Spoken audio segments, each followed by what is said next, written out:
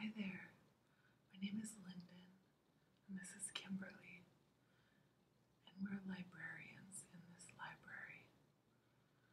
We want to show you around, show you the stacks, we'll look at some different books, ruffle the pages a little. We have a great selection of graphic novels, some literature. There are some study rooms here, photography books. Downstairs, there are a lot of books about art because this is an art library. We're really excited to have you join us today and can't wait to show you some books.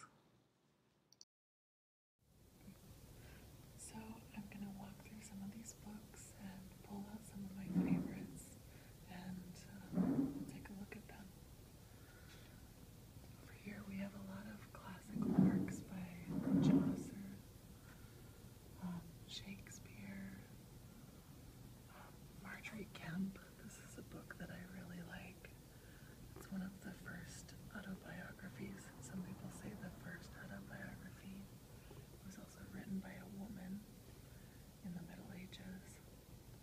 Looks like I just really like this book. I'm gonna put it back.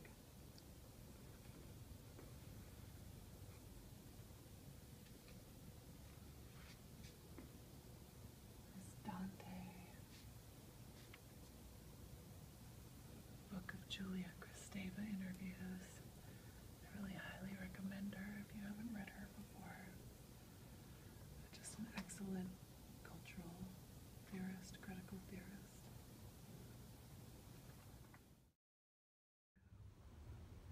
Okay. I just want to walk around the stacks and run my fingers along the spines of the books. It's one of my favorite things to do when I go into a library.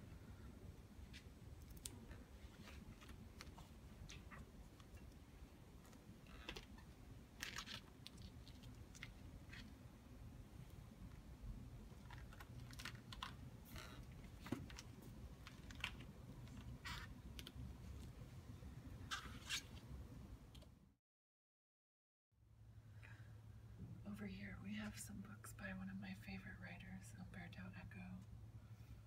This is one of my favorite of his works. It's called The Name of the Rose. It's actually about a library, a medieval library. There's a map on the inside cover that shows this abbey. I just love to flip the pages you can smell the book. I love the smell of books. That's a really good one.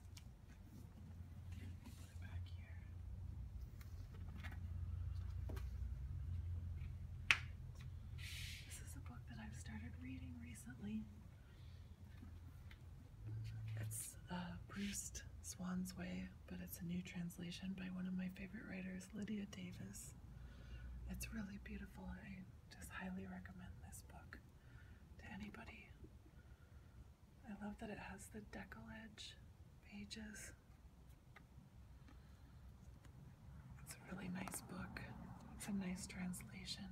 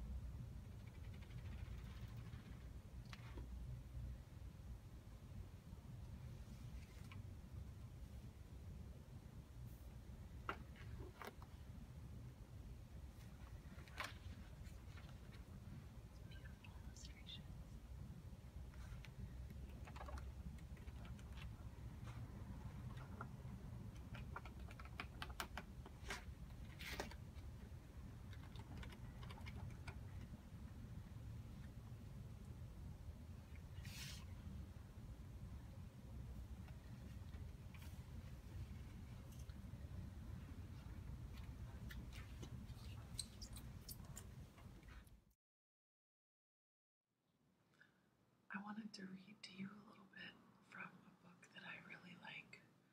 It's a very relaxing, peaceful book to me. It's called I Remember by Joe Brainard.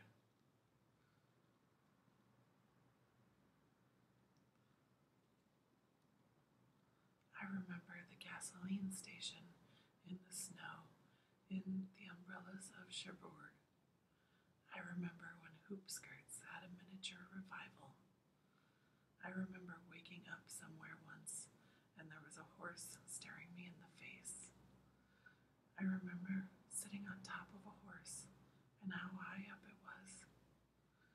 I remember a chameleon I got at the circus that was supposed to change colors each time. He was on a different color, but he only changed from green to brown and from brown back to green, and it was a rather brown green at that. I remember never winning at bingo, though I'm sure I must have. I remember a little girl who had a white rabbit coat and hat and muff. Actually, I don't remember the little girl. I remember the coat and the hat and the muff. I remember radio ball game sounds coming from the garage on Saturday afternoons. I remember hearing stories about why Johnnie Ray was such an unhappy person, but I can't remember what the stories